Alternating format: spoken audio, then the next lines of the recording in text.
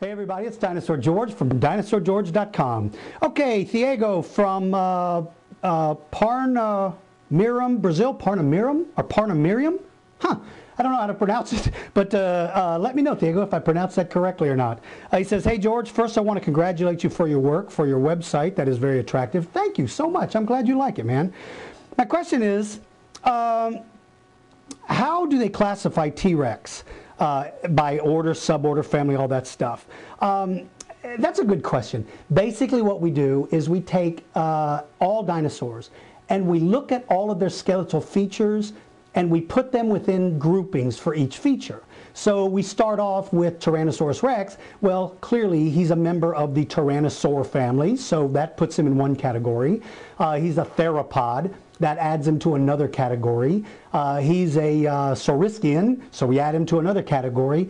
Basically, it's like your family tree. We look at you and we, we look at your first name, and that puts you into a group.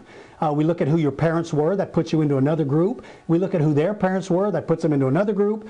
Then we look at your skeletal design, that puts you into the grouping of humans, uh, and so on and so forth. So when you look at these dinosaurs and you see all these orders, suborders, class, that's nothing more than breaking down into finer and finer detail which family it belongs to. And all dinosaurs are put into that same way. Okay, um, Harry from Ipswich, England in a fight, who would most likely win, Tyrannosaurus rex or Triceratops? Man, Harry, that's the classic battle. Uh, we have evidence that shows that a T-Rex uh, was not always the winner because we show some really devastating injuries. And then we show evidence that says Triceratops was not only always the winner. I think this fight is solely based on the age of each uh, uh fighter and uh, who gets in the first blow.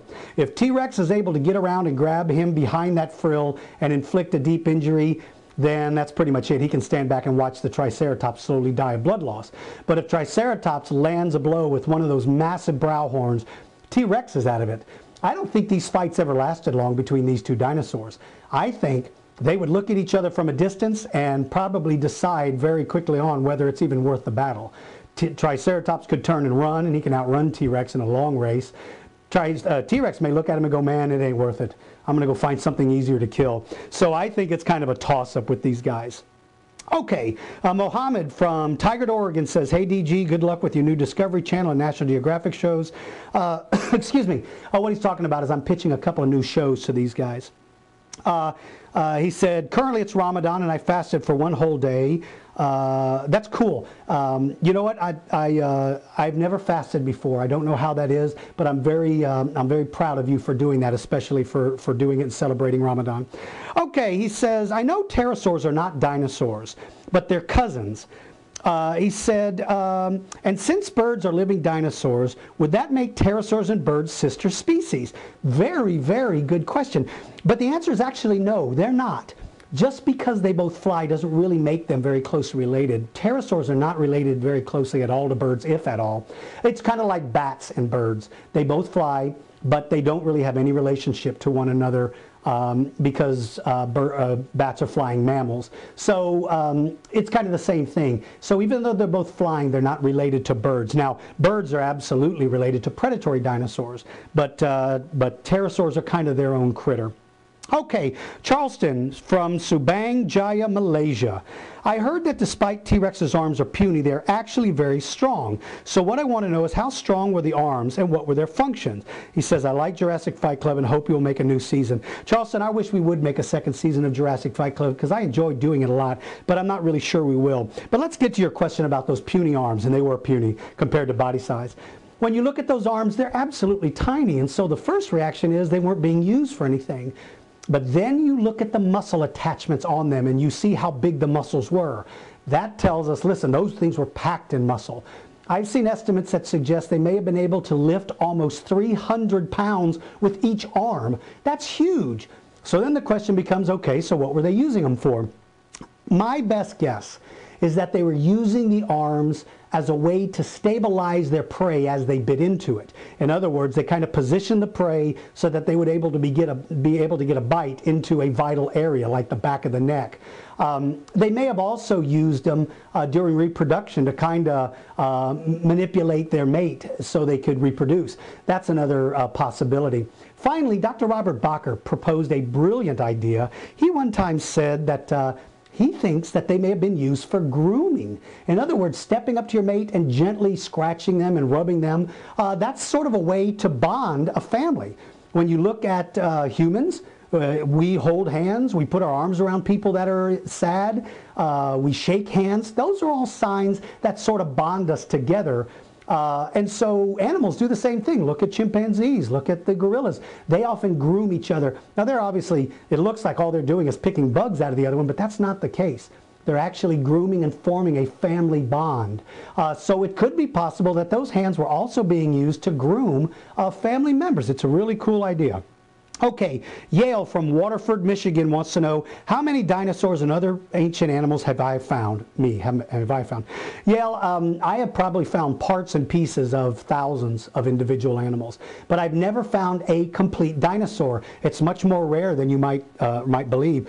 But I found uh, I found a lot of fossils in my life, thousands, tens, maybe maybe a hundred thousand pieces and parts and individual fossils. Uh, Joshua from Oxford, North Carolina says. Hi, Dinosaur George. My question today is about Megalania. I love Megalania. That's a giant Komodo-like dragon from Australia. Megalania is definitely a big dude. You're right. The two dinosaurs I'm going to ask about, um, or the two questions I'm going to ask about are, how big do you think Megalania was, since very few skeletons have ever been found? And do you think Megalania was the ultimate reptilian predator? Um, Joshua, those are good questions. How big do I think he is? The biggest estimate I've ever seen, and the one that I think is probably accurate, is about 35 feet long. Uh, there's not been a whole lot of them found, so you're right. Nobody really knows for certain how big these animals can grow. But I think they may have been able to grow about 35 feet. And yes, Megalania, in my opinion, was the ultimate reptilian predator, the true reptile predator. Uh, I think he was even more dangerous than the giant crocodile Deinosuchus. I think he was more dangerous than the giant crocodile Phobosuchus. Uh, I think he was the biggest, baddest reptile walking around with typical reptile legs than anything else on Earth. Uh, there were some dinosaurs that were more dangerous, but I'm talking about true, absolute reptiles. Nothing was more vicious, in my opinion, than Megalania.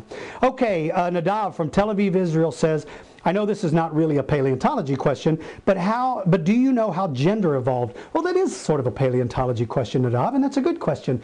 I don't know how gender ultimately came to be. I mean, obviously, it's a vital part of how animals are able to reproduce reproducing yourself like the way uh, uh, bacteria can, where they can replicate themselves, that's actually incredibly strainful and takes a tremendous amount of energy, but it also makes you stay a very primitive organism.